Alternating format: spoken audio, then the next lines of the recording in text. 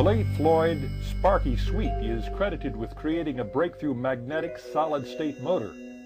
A magnetic specialist with a distinguished industrial career, Sweet was a man whose technical claims could not be easily dismissed. Many credible witnesses saw his device work, and Toby Grotz was able to photograph these demonstrations.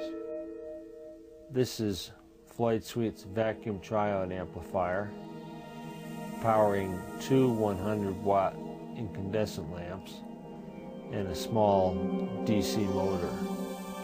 The term vacuum triode amplifier or VTA is a word that was coined by Tom Bearden in order to explain the phenomenon of how energy from the zero point energy state was coupled into Floyd Sweet's over unity free energy device. The hardware configured in this photograph was set up and run producing in excess of over 2 million to 1 power gain.